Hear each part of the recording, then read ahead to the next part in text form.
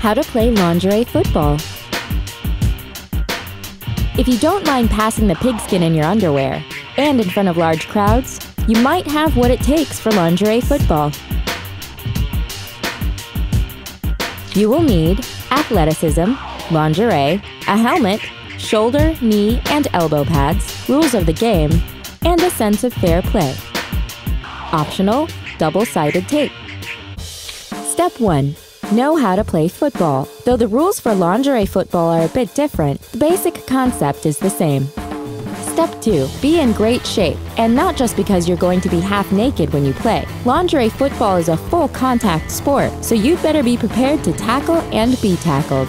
Step 3. Own a few sexy get-ups. The lingerie football team uniform consists of a bra, panties, a garter belt, plus shoulder, knee, and elbow pads, and a helmet. The judicious use of double-sided tape can help prevent wardrobe malfunctions.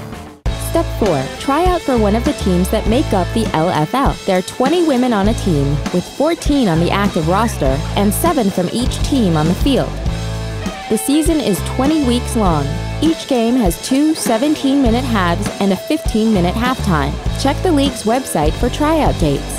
Step 5. Play by the rules. The LFL plays on a 50 yard field 30 yards wide with 8 yard end zones. A touchdown is worth 6 points. A conversion run or pass from the 2 yard line is 1 point, and from the 3 yard line, it's 2 points, as is a safety. There's no punting and no field goals. Step 6. Play fair. Pulling off an opposing player's clothes is discouraged by the coaches, though prayed for by the fans. Did you know? Lingerie football began in 2004 as a one game television event to compete with the Super Bowl halftime show.